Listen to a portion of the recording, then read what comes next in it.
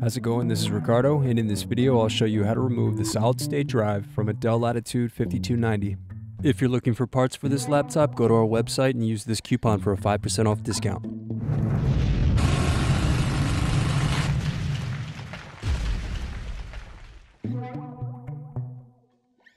First remove screws to loosen and then pry apart bottom base.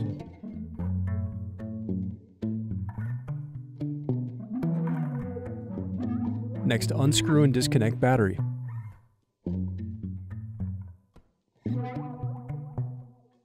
Now unscrew and remove solid state drive. Thanks for watching. Don't forget to like and subscribe if you enjoyed this video. And if you need more, check out this playlist to watch other tutorials for your laptop. You can also click here to find parts for your laptop at partspeople.com.